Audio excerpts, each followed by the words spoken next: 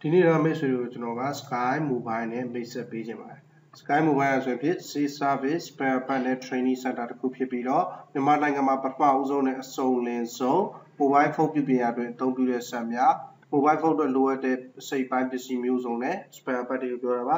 Mobile Phone Tablet Phone တို့အပြင် Mobile Phone အတွက်လိုအပ်တဲ့ပစ္စည်းတွေကိုဖြန့်ဖြူးရောင်းချပေးနေတဲ့ site တစ် site ဖြစ်ပါတယ်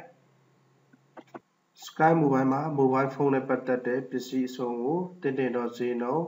ပစ္စည်းရည်တွေးကောင်းမွန်စွာတို့ဖြင့်လက်လီလက်ကဝယ်ယူရရှိနိုင်ပါတယ်။မန္တလေးမြို့မှာဝယ်ယူခြင်းနဲ့ဆိုရင်တော့အမှတ်925 81လမ်း36လမ်းနဲ့83လမ်းကြားမဟာအောင်မြင်မြို့နယ်ဖုန်း32 66 96 96 39 368ခွန်39 9139 54325တို့နဲ့ အမှတ်နှစ်ဆိုင်ခွဲကတော့အမှတ်16မြင်းဆောင်စီ22လမ်း82လမ်းနဲ့82လမ်းကြားအောင်မြေတာသံမြို့နယ်ဖုန်း311 233 640 39 231 968တို့ကိုဆက်တွဲပြီးတော့ဝယ်ယူနိုင်ပါတယ်။ဒါမန်လေးမြို့မှာရှိတဲ့ဆိုင်တွေပါရန်ကုန်မြို့ကဆိုင်တွေကိုလည်းမိတ်ဆွေတို့တီးဝယ်ယူခြင်းနဲ့ဆိုရင်အမှတ်3ဗရောက်လန်ယူဇနာပလာဇာအနောက်ဘက်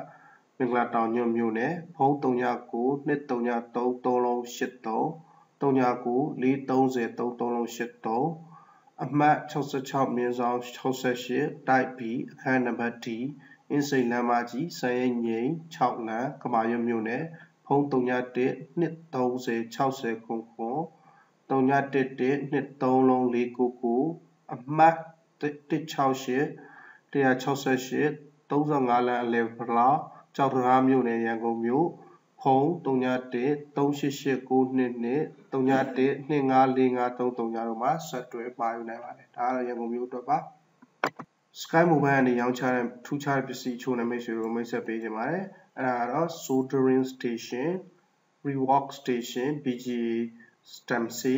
power management IC RFIC SOC CPU EMSC နဲ့ mobile phone component မျိုးစုံကိုရောင်းချပေးတာပါ အဲ့လိုပဲမိတ်ဆွေတို့ကြည့်မယ်ဆိုရင်အာ software box software dongle EMSC programmer ဆိုပြီးတော့ mobile phone ပြင်ပြင်မှာမရှိမဖြစ်လိုအပ်တဲ့ box တွေ dongle တွေ programmer တွေနဲ့လည်း programmer တွေကိုလည်း Sky Mobile မှာဝယ်ယူနိုင်ပါတယ်